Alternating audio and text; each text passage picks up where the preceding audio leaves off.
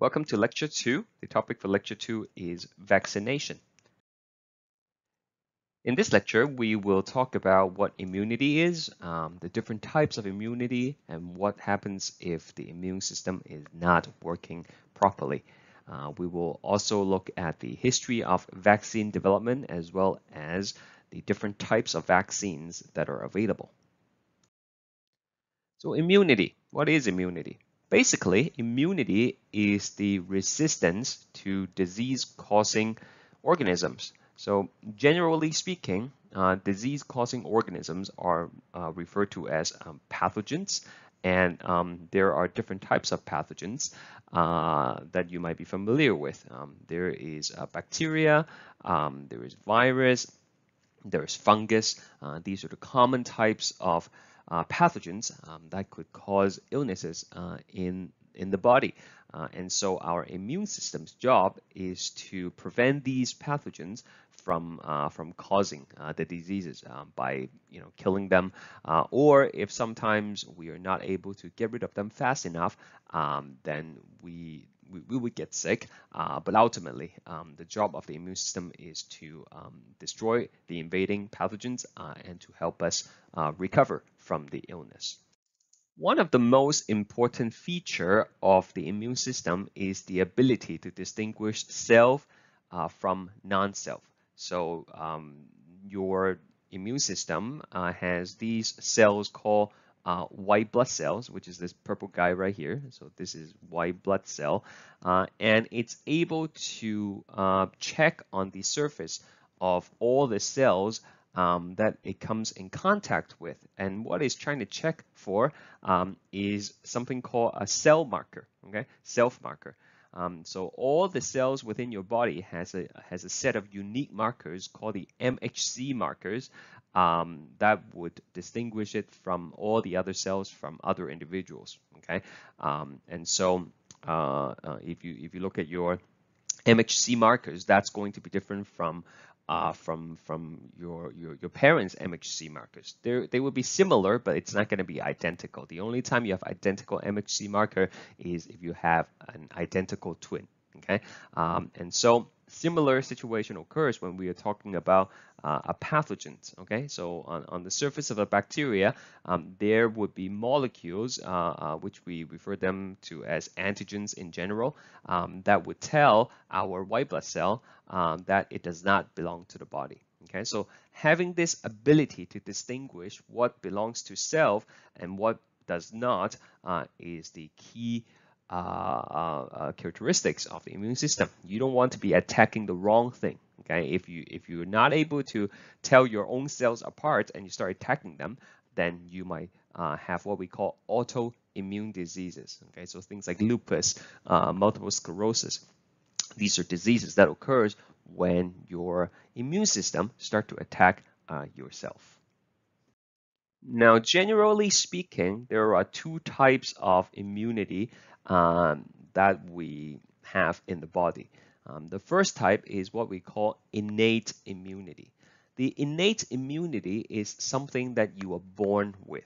Okay, this is what we call the inherited immunity. Okay, you you, you got it uh, from your parents. Uh, it's part of your um, genetic makeup, right? So the moment you're born into this world, your innate immunity is going to be working uh, already. Okay, so the purpose of the innate immunity is to defend the body against general infections. Okay, so these are not tailored uh, immunity for specific disease, uh, but rather uh, it's kind of like a, a broad spectrum defense um, that would work on a wide range of basic infections. Um, this type of immunity does not change throughout the person's life. Um, and uh, as I mentioned before, right, uh, it offers immediate protection. Right? As soon as you come into this world, your innate immunity is going to be up and running, uh, and and it's going to give you immediate uh, protection, and and it will continue to give you protection uh, uh, throughout your lifetime. So um, some uh, strategies used by innate immunity to get rid of infections uh, include uh, inflammation. Right? So we all had experience of what inflammation looks like. Uh, if you cut your finger, um, then then it feels uh, warm. It's gonna be red, it's going to be a swollen, and it's going to be painful. Those are hallmarks of inflammation. And you know, as bad as it sounds, uh, those things are actually the side effect of uh, what's happening in the body um, when it's trying to get rid of the um, of the of the bacteria. Um, and so inflammation is uh, it's a sign that your immune system is is at work. Uh, and fever is another example of innate immunity, right? By cranking up the body's temperature, um, you are going to inhibit the growth of bacteria, for example. Uh, and at a higher temperature, you are able to have um, faster metabolism which would help with the healing process. Um, the um, shortcomings of the innate immunity is that uh, it has limited efficacy, okay? Is not the best type of immune protection that you can have. In fact, this type of immunity is not going to be very useful if we were to be infected with some serious virus. Okay, uh, so if, if you get uh, hepatitis, innate immunity is not going to be able to protect you. If you get COVID-19, right, the innate immunity is not going to be able to protect you very well. Okay, uh, and on top of that, uh, the innate immunity uh, has no immune memory. It does not remember what it has fought off before. So if you get infected by the same thing, you kind of have to um, uh, uh, fight it from the beginning, uh, from from from fresh start, uh, all over again. Okay, you you you're not going to be able to uh, remember what you have fought off uh, before. So typically speaking, if you come down with some serious infection, some very bad virus or bad bacteria, that the um, where the innate immunity is inadequate, then you need to bring out the big guns, so to speak. And that big gun is the other branch of immunity, the adaptive uh, or sometimes called the acquired immunity. In this type of immunity, um, you are going to be able to create a specific immune response against a specific type of pathogens. In other words, the adaptive immunity is tailored response uh, specifically designed to fight off a specific type of infection. Okay, uh, and having said that, it means that the adaptive immunity will evolve over the life of a person. It really depends on the kind of uh, viruses and bacteria and pathogens you've contracted through your life, um, uh, um, and, and that's going to dictate how your adaptive immune system is going to evolve. For example, if you have um, had chickenpox before, then in your system you would you would have uh, uh, uh, the adaptive um, um, tools to fight off future chickenpox infections. So you won't you won't have to worry about that again, right? Um, you might had um, I don't know uh, uh, disease A, B, and C in your lifetime, so you would have immunity against those things. and for me, right, I might also had disease A, but I've also had D and E. So my adaptive immunity would uh, provide me with protection against uh, uh, disease A, D, and E. Uh, but since I have not been exposed to B and C yet, I won't have that uh, protection. So what that means is everybody is going to have a slightly different uh, adaptive immunity, right? It all depends on uh, what kind of pathogens they have encountered in their lifetime. And this is going to continue to evolve over time uh, uh, because we are still going to get sick uh, eventually, right? As long as we live, there's a chance we're going to get sick. So every time you get sick, you're going to add a new uh, disease to your to your um, to your adaptive immunity. So, you know, later on in life, maybe I contracted disease C, right? So, so now I have an extra protection uh, in my in my adaptive immunity. Um, the key um, thing here is that the adaptive immunity is able to produce antibodies. Okay, uh, and we're going to talk about what those antibodies are. They're basically protein molecules that you can produce, uh, and and they are the ultimate weapon uh, in the body. Okay, if the antibodies that does not work, uh, um, then we are going to basically get very ill, and we need to you know take medicines and uh, and um, get extra help from from outside of the body uh, to to recover. Um, to make those antibodies, it kind of takes some time to develop. So um, compared to innate immunity, uh, adaptive immunity is not going to offer immediate protection. It takes time to develop, uh, but once you get it up and running, it is generally quite effective. And uh, kind of like add a bonus to that is you will have immune memory. Okay, you will remember what you have thought of previously, uh, and as a result of that, uh, you know, if you encounter the same uh, pathogen in the future, you will be able to get rid of them uh, much faster. You will be able to get rid of them uh, with greater efficiency. So here is what an antibody looks like. It's kind of like a Y shape uh, uh, proteins. Uh, and you know there is a is a is a handle region here um, that is the same for all antibodies. Okay, so we call that the constant um, region. Uh, and and here you kind of have two arms, uh, and and that's going to be different for each antibody that you produce. Okay, so these are what we call the variable variable regions. Okay, they're a little bit different uh, for every uh, antibody. And, and to create those variation, um, you basically have to uh, shuffle your genes. Okay, you have a set of genes that are dedicated for antibody productions. Uh, and, and it's like having a deck of uh, cards. Okay, you deal out you know, uh, 10 cards every time, um, there's a good chance that the cards are going to be different, right? Um, and, and by shoveling your genes, right, every time you're going to be able to create um, antibodies with different variable regions, okay? But the constant regions would be pretty much the same for all the antibodies. Now, uh, as a general rule, uh, each antibody is only going to be able to recognize one target, okay? Uh, however, your body has the potential to generate billions of different types of antibodies, right? Through the gene shuffling that I was talking about. So as an analogy, you can think of uh, uh, before the analogy actually, let's uh, let's take a look at this picture. So if you produce an antibodies that would bind to the orange uh, virus here, right? You can see um, maybe it's a little bit small, but you know you can zoom in on the PowerPoint slide. You can see the variable region here. Uh, the groove on the end will fit the little uh, pentagons you have on the virus. Uh, and if you have an antibody that is going to recognize this bacteria, then the groove here would, you know, at the end would fit the uh, semicircle that is on the surface of the bacteria. So the antibody that you create to fight one thing uh, will typically not work for another pathogen. Okay, um, there are some exceptions that we will talk about later on, but generally speaking, uh, one antibody is only good for one pathogen. Okay, so if this if this thing is designed to fight orange uh, viruses, uh, it will not work when you get infected by the red bacteria, and vice versa. So as an analogy, you can think of antibodies like screwdrivers and, and the pathogens are like the screw heads. Okay?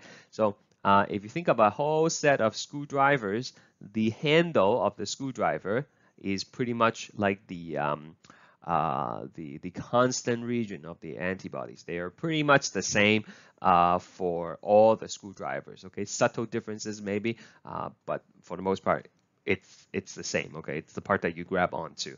Uh, and then there's the tip okay? The tip would be different for each screwdrivers. And those tips are designed to tighten a specific type of screw heads okay? So it, you know if you have i don't actually know what these um, i'm sure they have uh, like a proper names to call these things but i'm just gonna call them like hexagon for example okay? So if, if you have a hexagon head then you're gonna need the tip that matches the um, the hexagon, right? You cannot tighten this with a with a flat head, right? You cannot tighten this with a cross head.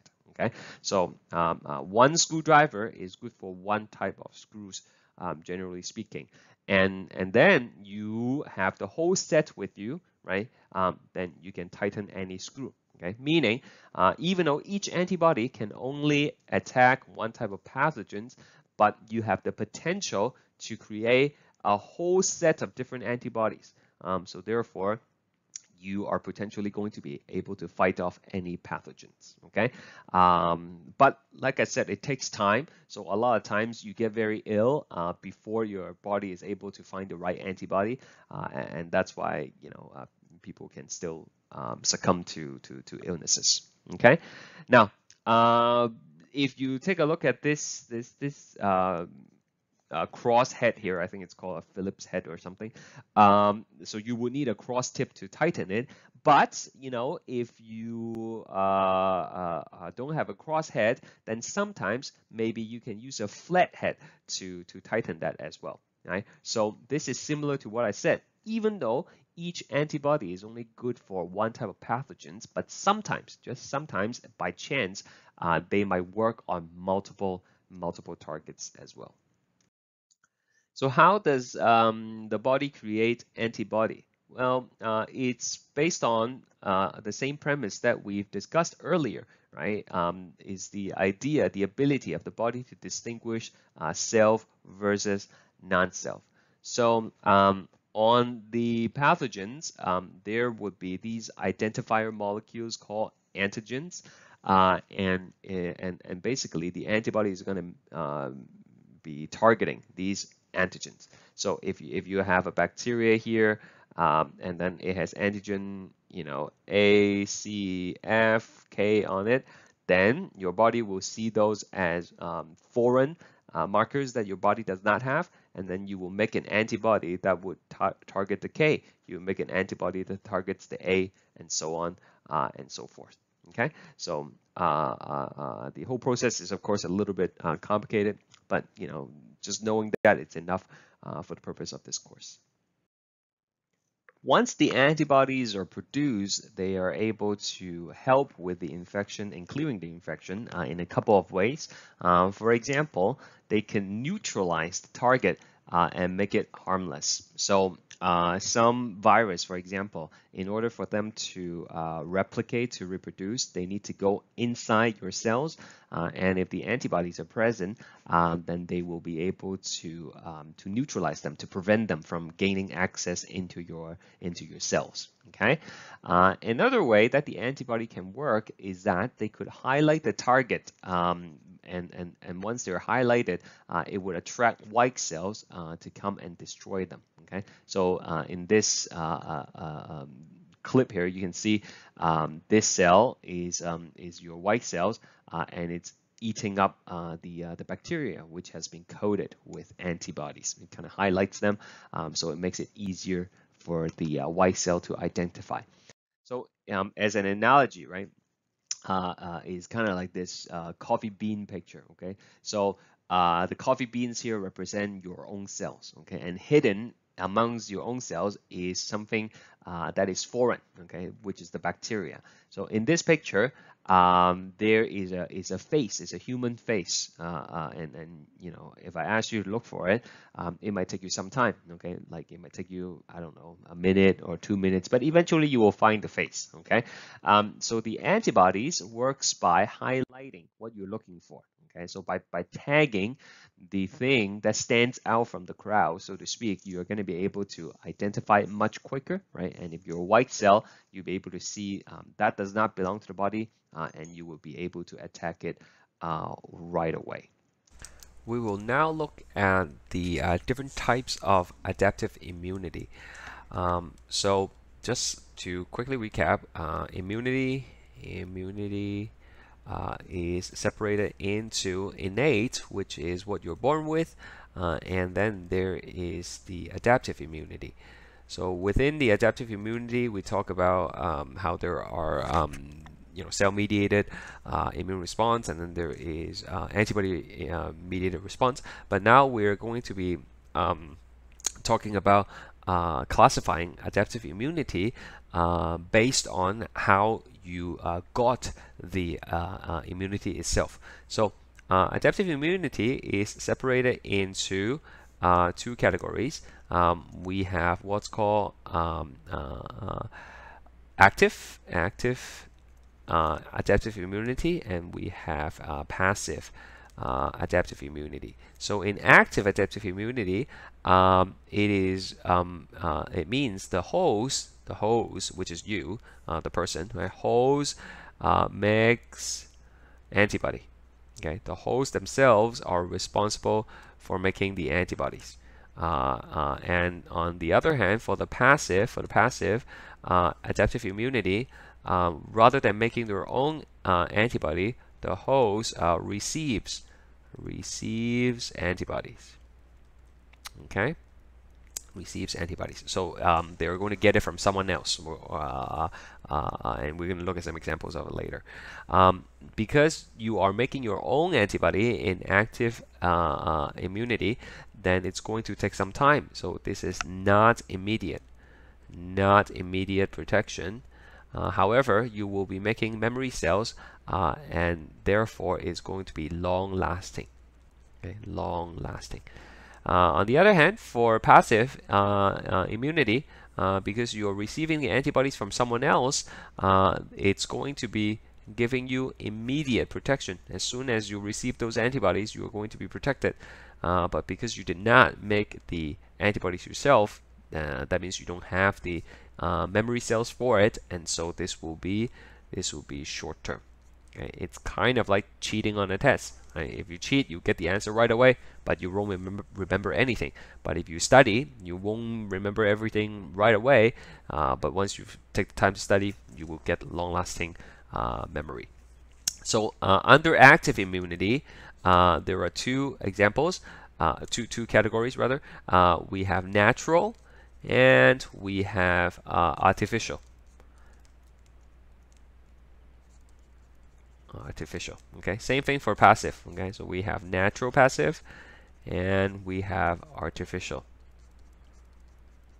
passive okay? Uh, another word for artificial uh, sometimes you see textbook write induced induced okay? So natural just means it happens naturally uh, and artificial means you deliberately um, do something to trigger it okay so therefore there are three um, uh, uh, types of adaptive immunity in terms of how you get that in the first place.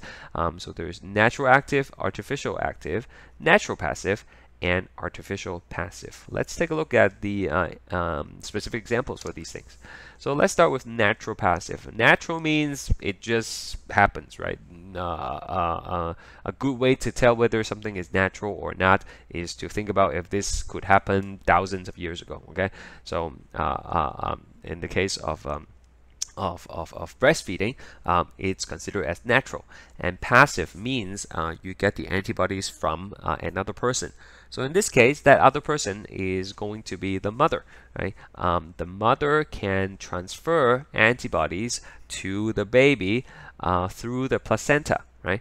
Uh, and and we actually know this, right? We know uh, uh, for RH. Um, uh, sensitization for hemolytic disease of the newborn, uh, the Rh antibodies actually cross the placenta to attack the baby's uh, uh red cells. Uh, but in this case, we are talking about good antibodies. So if the mother has uh, anti measles antibodies or something, those will be able to cross the placenta and go into the baby's body and to protect the baby that way. Um, these antibodies will disappear soon. Um, within a few months uh, and then the baby will be susceptible again. Um, um, and so the mother can prolong these uh, uh, protections by breastfeeding the baby. Okay, so um, breast milk actually contains uh, antibodies, uh, and those um, can um, uh, offers protection for the baby as well. Okay, so these are this is example of natural passive. Okay, it's natural because it you know it's happened naturally and passive because um, the mother makes the antibody not the baby not the host okay? So once the breastfeeding stops right the baby would have to eventually make their own antibodies um, by encountering um, the um, the illness through uh, through other means uh, artificial passive, okay, so artificial means is deliberately done, and passive means uh, you did not make the antibody yourself, right? So um, there are two examples of this. Uh, artificial passive can be used as a, as a preventive uh, measure, okay, prevention, uh, or it can be used as a treatment, okay? Uh, and I'm gonna tell you um, about this um, right now.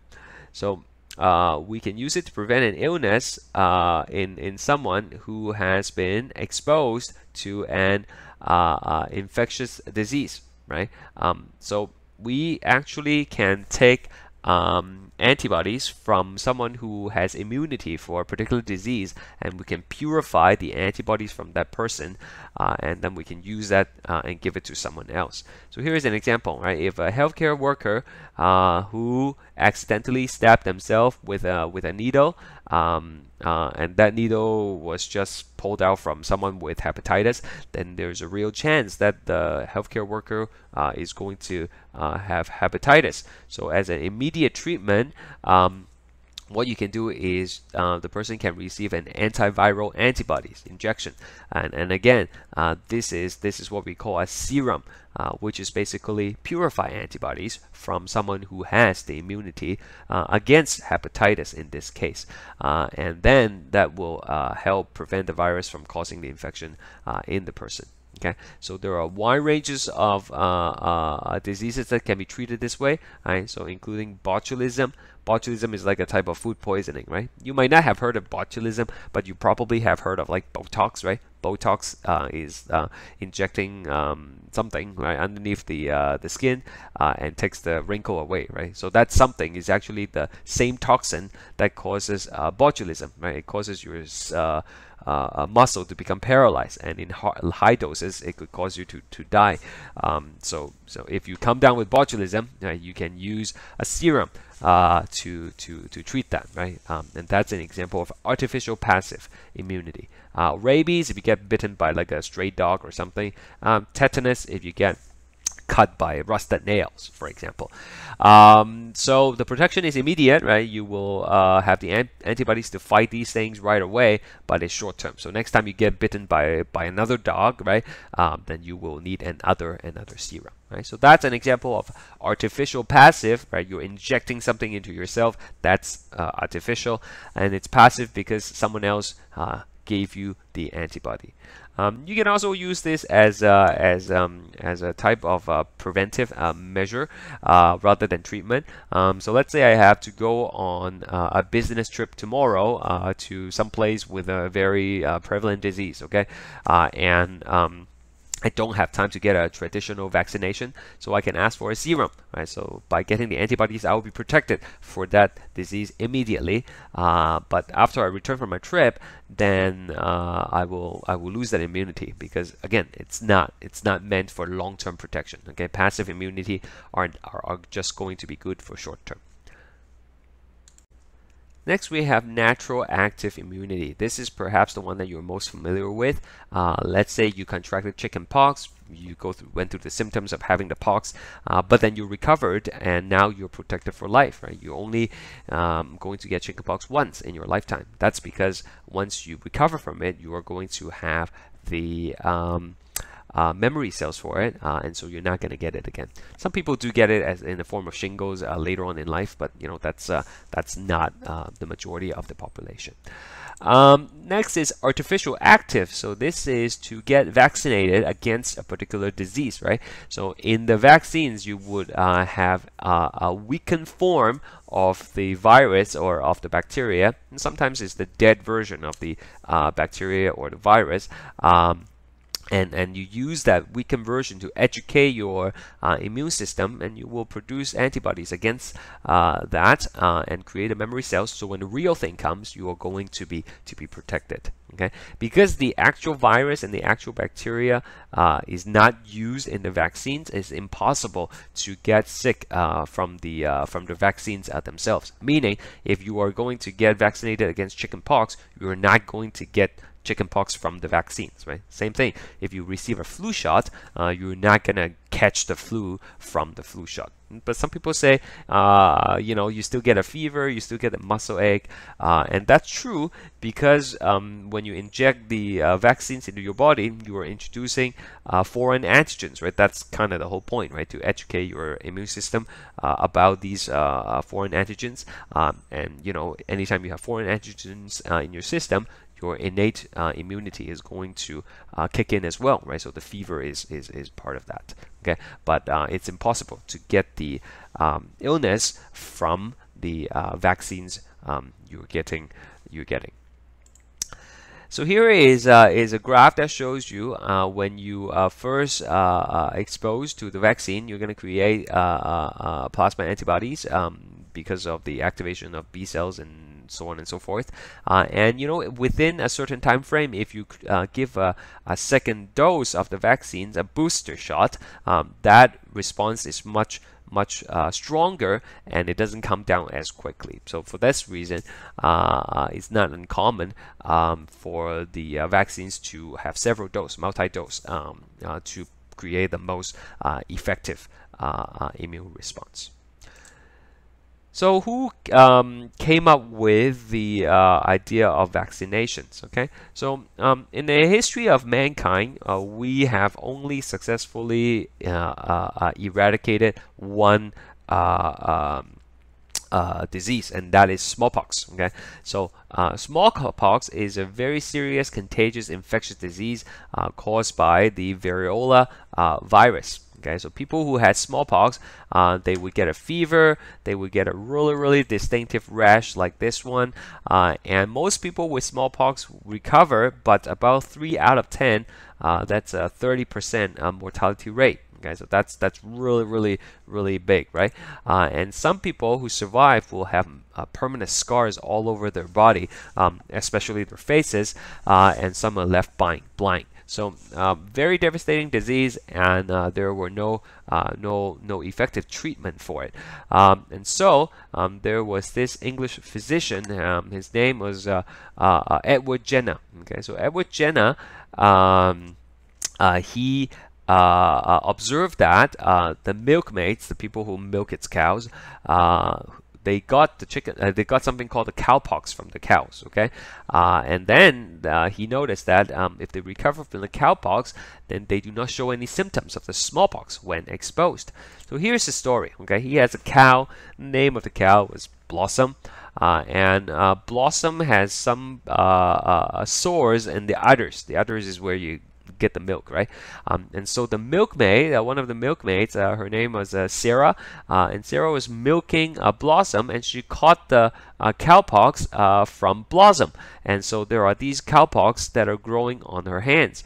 Um, and then she recovers from the cowpox. Okay, cowpox is not a uh, serious disease uh, in humans. Okay, um, and so um, later on, Jenner uh, found out that you know Sarah seems to be affected by the by the smallpox. So he um, he uh, theorized that uh, if you recover from cowpox, maybe it will give you uh, protection from smallpox. So to test his hypothesis, he uh, took the gardener's son, right? Uh, not his own son, the gardener's son, right? Uh, a nine-year-old boy named James, and then he exposed him to cowpox. And when the boy recovered from the cowpox, he then do something crazy. He exposed the boy to smallpox repeatedly. Okay. Um, you know you can't do this nowadays right? Nowadays right you're gonna get sent to jail for life. But back then the ethical uh, guidelines were not so clear cut I guess. Uh, and it was very fortunate that uh, um, Jenner was correct that the boy actually uh, uh, did not get sick from the smallpox. And you know based on what we discussed about um, antibodies um, you would know that this is a very very uh, unusual situation because typically uh, we produce antibodies um, specifically for one type of disease, right? And that antibodies will not work for another disease. It just turns out that in this case, the smallpox and the cowpox are so similar that when you get um, uh, infected by the cowpox, um, you will also get protection from the smallpox. So that uh, uh, began uh, the uh, uh, creation of the first vaccine. Uh, and what happens is after mass vaccination, um, using vaccines created from the cowpox, um, people no longer get sick from the smallpox. And by the end of the um, um 1977, there were no more naturally occurring cases of smallpox. Okay, and so um, the cow Blossom, uh, when he died, uh, when she died, sorry, um, the hide was made into leather, and that was given to um, to to to Canada as a gift. Um, and you can find the uh, hind of Blossom at the Medical Science Building uh, in uh, University of Toronto.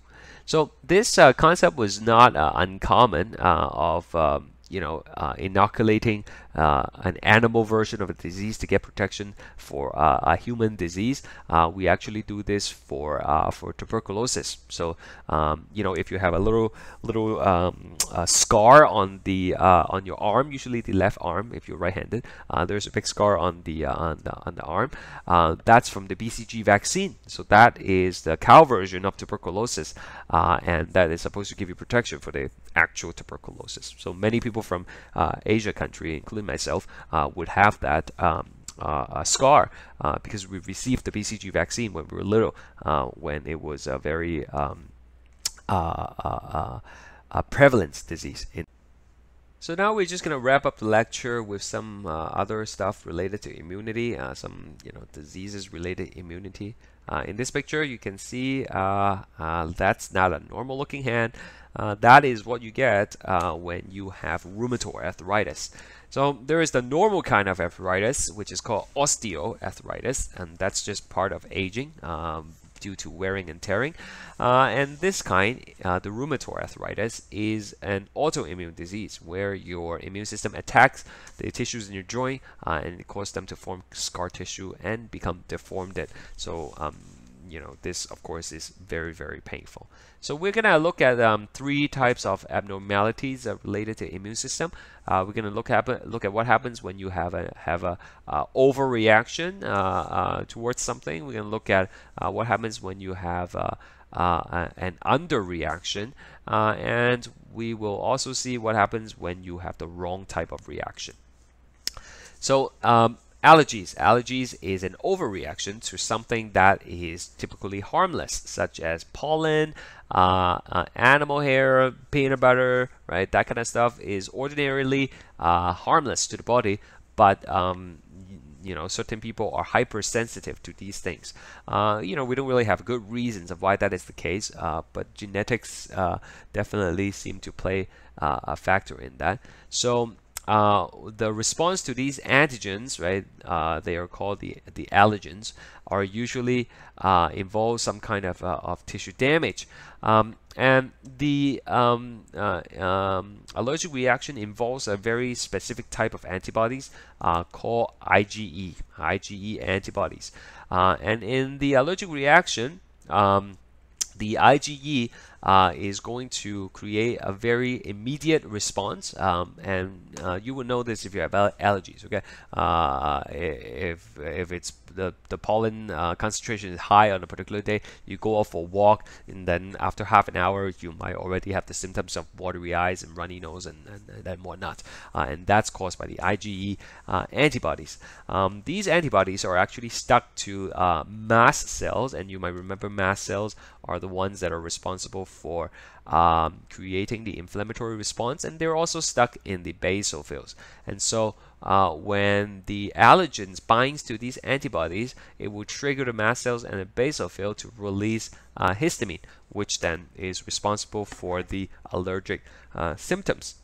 And so a lot of the um, allergy drugs um, they contain what's called antihistamine uh, and that is um, to counteract the effect of, uh, of histamine now, sometimes the allergic response can be very, very severe. In some people, uh, the uh, IgE-mediated allergic response uh, uh, uh, uh, can create what's called an anaphylactic shock.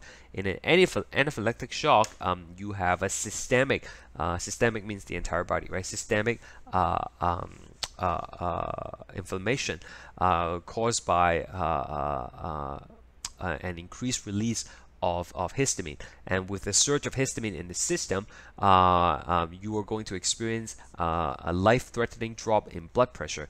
Um, because remember, histamine is going to increase your vasodilation and it makes them super, super leaky, right? So by leaking a lot of fluid out of your, your blood vessels, um, your blood volume is going to go down and your blood pressure is going to drop significantly. Uh, and if you don't have enough blood pressure, then uh, you know not enough blood can go to your brain, uh, and then you could die from that. So this is very very uh, serious, uh, and it could happen very very quickly, right? Um, so if someone is having an anaphylactic shock, or if they have a history of uh, having anaphylactic shock, then you know they should carry an EpiPen for them. So EpiPen contains epinephrine, which is something that your body makes. Um, you know when you're scared or excited right? Um, you might probably know it as uh, adrenaline okay? Adrenaline adrenaline and epinephrine are the same thing okay? So by injecting a shot of epinephrine into your system uh, it's going to reverse all that uh, uh histamine effect uh, and it will you know allow you to um, to to basically live right uh, before you get to a hospital so uh, another example is uh, uh, autoimmune disorder. This is the wrong kind of reaction. Okay, um, we are supposed to only have T cells that uh, that would attack uh, foreign antigens, right? Uh, and there are you know checkpoints in the thymus. Remember we talked about the tolerance test, right? Only 5% uh, of the T cells are supposed to come out from the thymus uh, if they pass the tolerance test.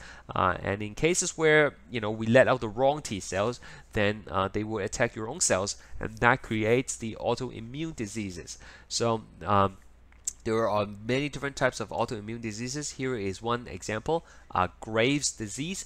Um, so you have a thyroid gland uh, in you know the neck area, uh, and the thyroid gland produce uh, thyroid hormone. So to keep, just to keep it simple for now, thyroid hormone basically controls your metabolism. So more thyroid hormone, higher the metabolism.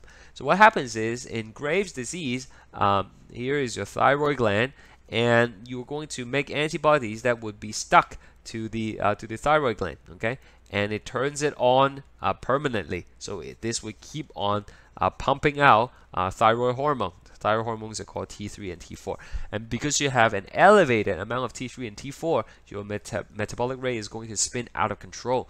Um, you're going to have uh, uncontrolled weight loss because you're burning up everything you eat. Uh, you're going to have regular, irregular heartbeat. Uh, uh, uh, it's going to be beating really fast. and the eyes are going to be a little bit bulging. Uh, these antibodies not only bind to the thyroid gland, but they also bind to the muscle around the eye, causing them to become inflamed, and as a result, your eyes are going to be a little bit bulgy. So that's an example of autoimmune disorder. Uh, finally, we have uh, immunodeficiency, and that is when you have an underreaction, okay, or no reaction at all. So um, this uh, comes in two forms. We can have what's called primary immunodeficiency.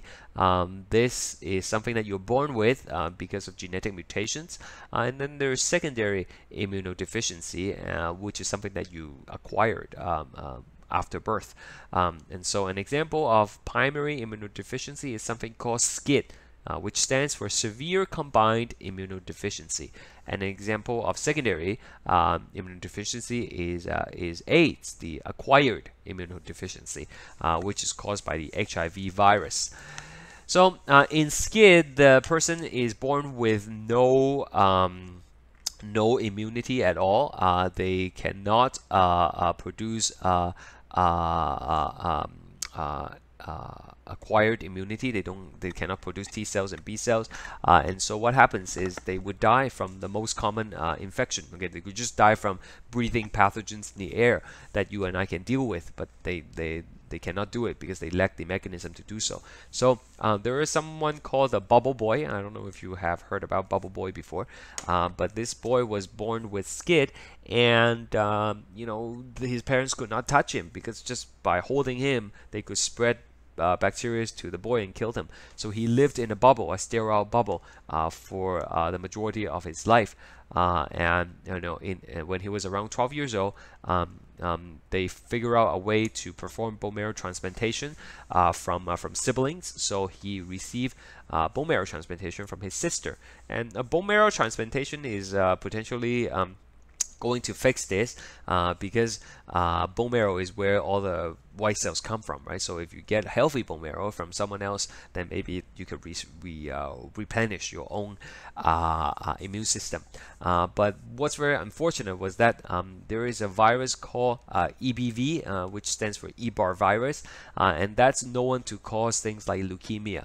Um, so people who have EBV uh, might not get leukemia uh, all the time because um, their immune system is able to suppress the virus. Uh, but um, what happens is the sister had EBV but with no symptoms. But once the bone marrow transplantation occurred, because the boy didn't have a complete immune system at the time, um, the virus uh, manifested itself, and uh, shortly after the transplantation, the boy um, actually died uh, from the from the Epstein-Barr virus related illness. Um, and so, you know, they actually made a movie uh, for this. If you're interested, you can probably search it up on um, on YouTube or something. So nowadays, um, we use gene therapy to correct for SCID. Um, the idea is to replace the defective uh, gene with a functional copy, uh, and you know uh, there are promising results, right? Uh, bubble babies, they, as they're called now, uh, still exist. People still born with SCID nowadays, uh, and by using gene therapy, maybe we'll be able to fix this problem in the near future. Uh, AIDS, uh, uh, acquired immune uh, deficiency syndrome, or um, the um, uh, which is caused by the HIV virus, uh, that can um, shut down your entire immune system because the HIV virus uh, actually has a preference in infecting things like macrophages, APCs, and helper T cells. And you know that the APCs and macrophages are important for activating the acquired immunity. And so without those, you basically don't have any uh, cell-mediated response. And even if you are able to get some T cells, the helper T cells will also be infected by the HIV. And so you will not have any antibody uh, uh, production capability. And for that reason, people with HIV are very susceptible to uh, common infections, and you know usually they die because of these common infections uh, and not because of the HIV themselves. Now the interesting thing is this: some people um, do not get HIV uh, at all because they have a mutation in something called the CXCR uh, receptor. So uh, in order for the virus to gain entries to these uh, cells, they require that receptor. And if you have a mutation in that receptor, the virus actually does not recognize it uh, and therefore not going to be able to uh, uh, infect the cells. Uh, and so people with that mutations are immune to HIV. So that created a very interesting case. There was someone name, uh, uh, there is someone, he's still alive, uh, called named Timothy Ray Brown, and for the longest time he was referred to as just the Berlin patient. So what happens was this: he had HIV.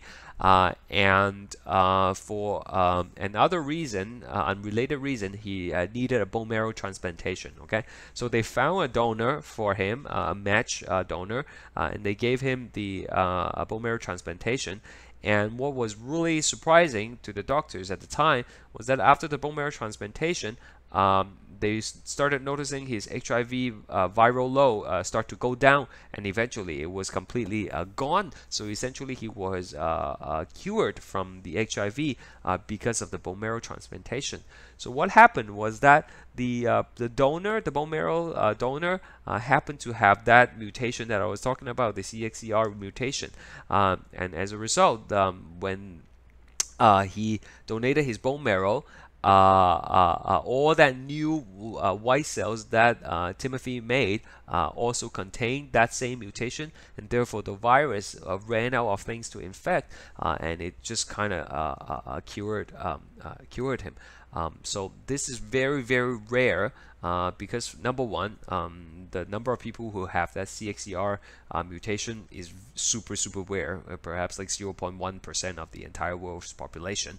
And in you know if you if even if you find someone who has that mutation, um, they have to be a suitable bone marrow do donor uh, in order for this to occur.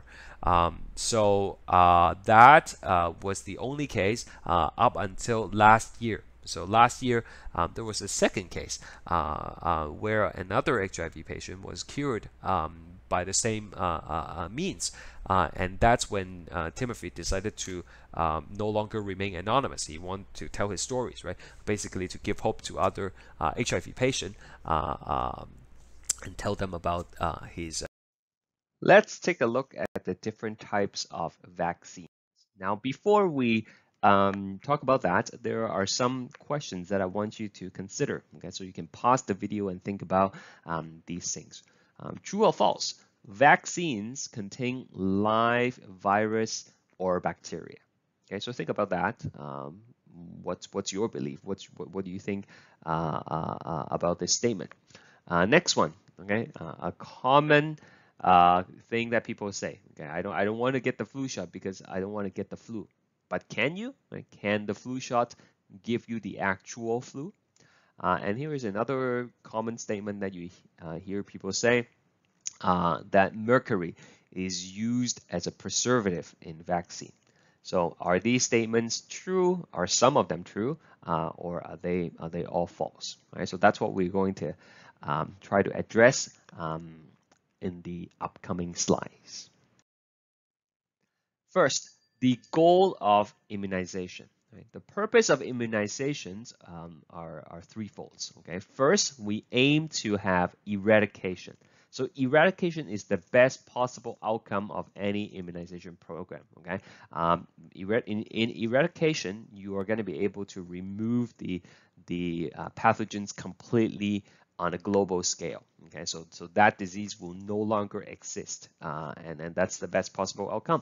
Um, sadly, we've only successfully eradicated one um, uh, uh, pathogens um, through vaccination, uh, and that was the case with uh, with smallpox. Okay, and since then, uh, even though we've developed vaccines. Um, for many other uh, pathogens, we are not we were not able to eradicate any additional diseases. Okay, and we're going to talk about why when we discuss the ethics of vaccinations in the next lecture.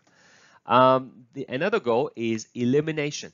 Okay, so um, if we're not able to eradicate it, right, uh, maybe we can make the disease disappear from one area. Okay, but it's still going to be uh, a problem for some areas in the world. Okay, um, and that certainly is the case for polio, uh, uh which is a virus that uh, could cause uh, um, paralysis in, in, in, in, kids, as well as measles, which is another one that is um, uh, are going to be uh, causing quite a bit of problem uh, in, in, in, kids.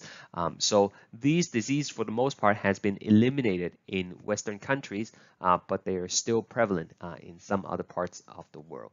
Um, and you know, due to the reluctance to uh, get vaccination for for for children, um, because of these uh, anti-vaccines uh, movements uh, recently, you have seen cases of polio and even measles are re-emerging in the, in the U.S. as well as for measles in in Canada.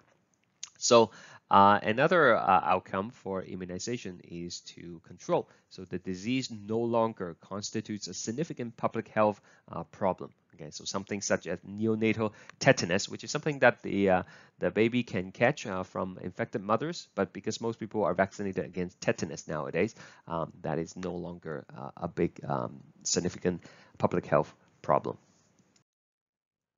When pharmaceutical companies develop vaccines, um, they would try to keep these things uh, in mind. Okay, this these are uh, a list of properties um, that we would like to see in the ideal vaccines. Okay, um, but it's rarely possible to, to, to hit all of them okay at the same time. Uh, but ideally speaking you would want the vaccines to have all these uh, properties. So at the very least um, the vaccine must be immunogenic okay? So this must be true for all vaccines. To be immunogenic means it's able to trigger to trigger an immune immune response Okay, so uh, that's the whole point. The vaccine is to educate your immune system so when the real thing comes, uh, you're going to be ready for it. Okay, um, you want the uh, immunity that you've created from the vaccine, you want it to be long lasting. Um, that's not always the case. Uh, some vaccines you need to uh, uh, get re revaccinated later on in life. So um, take tetanus, for example, um, the immunity kind of um, diminishes over time, uh, and you would need another shot um, perhaps in, um, in 20 years from the first one. Uh, and of course, all vaccines needs to be uh, safe. Um, it's important to understand side effects versus safety, okay? Um, vaccines are likely to have uh, uh, side effects. Okay, it might cause people to have uh, fever. It might cause people to have sore arms, and and those are acceptable side effects. It's just um.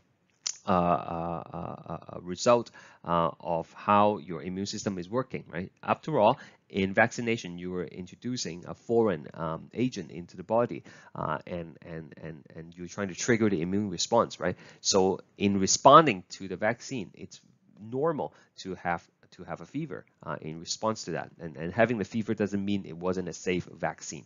Uh, uh, but safety, of course, is very important. We don't want any unintended uh, side effects, right? So, uh, of course, vaccines go through vigorous testing before they're deployed um, and, and, and used commercially.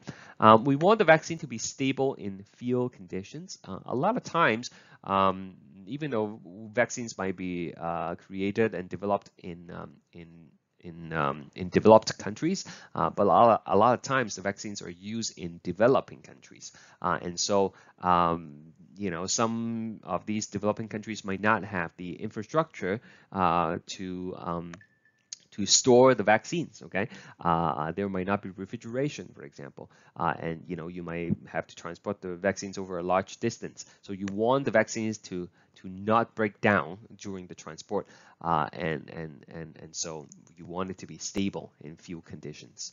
Um, a, a, an ideal vaccines would be a combined vaccines, uh, meaning uh, it would offer protections for multiple multiple uh, diseases Okay, so um, nowadays, uh, when when kids get their immunization uh, uh, early on in life, um, sometimes they get like a, um, a five-in-one vaccine or seven-in-one vaccines. So that single vaccines will give you protections for up to five diseases. Okay, uh, and ideally speaking, it would also be uh, just uh, requiring a single dose. some vaccines require a boosters, right? Um, so, so you know, multiple doses are required before the effect is um, is going to protect uh, to before the uh, protection is going to be a high percentage, right? Uh, but ideally speaking, you want it to work with just one dose. Uh, and lastly, you want it to be affordable and accessible uh, to all. Okay, making vaccines are not cheap. Okay, uh, there are government subsidies, um, but that we, we don't normally pay for uh, the vaccines uh, that is on the uh, immunization schedule of, um, of Ontario, for example. Uh, but if you were to get something that's not on the schedule, uh, say if you want to get hepatitis uh, uh, shot vaccine um, because you're going on uh, vacation to tropical areas, for example, um, then you have to pay out of pocket. Okay, uh, but ideally speaking, the vaccines should be affordable and and accessible to all. Here are some uh, common viral vaccines. Uh, vaccines can protect you uh, uh against viral infections and uh, bacterial infections as well. But um, uh, I think there are more vaccines for viruses than there are for bacteria. So there are different types of vaccines. Uh, we are going to be looking at um, three types uh, in the upcoming slides. Um, the first one is what we call live attenuated vaccines. So one of the first true or false question I asked you was that um, are there live virus and bacteria in the vaccines? The answer to that question is um, yes, for some vaccines, there are live agents within the vaccines. However, these are attenuated versions of the virus. Okay, that means the virus, the live virus that are used in these vaccines has been weakened in such a way that it is not going to cause serious illness in people with healthy immune system. Okay, so um, essentially they have taken away the uh, uh, disease-causing part of the of the virus uh, and just kind of leave an empty shell uh, uh, um, to be used to educate your immune system. So when the real thing comes, um, you will have the immunity to fight it off. Okay. However, the live version, um, the live attenuated vaccines are not suitable for everybody. Okay. Uh, if you have a weakened immune system, okay, such as people with HIV, for example, or people who are born uh, uh, that are immunocompromised, um, they will not be able to take these vaccines. Uh, people who are undergoing chemotherapy are typically going to have weakened immune systems. Um, they are not uh, going to be able to take live vaccines either. Uh, and finally, uh, pregnant women, they are also not suitable for live attenuated vaccines. So examples of um, live attenuated vaccines include the uh, MMR vaccines, uh, which is uh, a combined vaccines for protection against measles, mumps, and rubella. Uh, and there is also the uh, varicella, which is the uh, chickenpox vaccine. Another type of vaccines are, is what we call inactivated uh, vaccines. So these vaccines are made from inactivating the virus during the process of making the vaccines, uh, and, and, and they are completely dead, okay? Uh, and, uh, uh, but still has the antigens on them, uh, and that's what you need to educate your immune system, right? so an example of this would be uh, would be the polio vaccines. Now they are a little bit less effective compared to the live attenuated uh, because the live attenuated is the closest things to nature, right? Um, so typically they are quite good at uh, uh creating permanent um, immune protection for that illness. Um, so for invect in, in inactivated vaccine, you usually would need to have uh, multiple doses. So up to this point, we've talked about uh, live attenuated and inactivated vaccines, both of which are not going to be able to cause the uh, uh actual diseases. Okay, in fact, uh, no vaccine is going to give you the real disease. Okay, um, so if you think back the true or false questions that we thought about, can you get the flu from the flu shot? Um, the answer is no, you cannot. Okay, the the flu virus uh, that is in the flu vaccine has been inactivated. Okay, it's incapable of causing disease. But you still hear people say, you know, I every time I get the flu shot, I I end up getting the flu. Okay, so a couple of um, things to consider there. Uh, number one, the flu shot is not a 100% protection. In fact, there are so many strains of flu circulating out there uh, the World Health Organization actually predicts the top three strains that will be circulating in any given uh, flu season, and then they make a vaccine for those three strains. Uh, and sometimes their prediction is wrong, so the flu shot for that um, season might not be as effective. Okay, so you can still catch the flu. Uh, and you know, some people would say, I get the flu shot, and then you know, right away I had the flu. Uh, in those instances, maybe the person already caught the flu virus uh, before they got the uh, flu shot, and it's just a coincidence um, that um, that it's happening at the same time. Okay, so receiving the flu shot will not give you immediate protection. You still have to develop the antibodies. Okay, so if you already have the flu virus in you, getting the flu shot will not protect you. Uh, it will protect you from future flu infections, but the current one you're having, um, you are likely still going to experience symptoms from it. And here is the third type of vaccines, uh, which is called uh, toxoid and conjugate. Um, so rather than immunizing uh, against the bacteria themselves, um, sometimes the bacteria is really good at hiding um, their antigens uh, on the surface, uh, and that helps them uh, to evade the immune system. Uh, and this type of vaccines is kind of like a solution towards that. Okay, um, the toxoid vaccine is going to uh, uh, uh, be um, uh, creating immunity against toxins that are produced by the disease uh, causing bacteria rather than the actual bacteria themselves.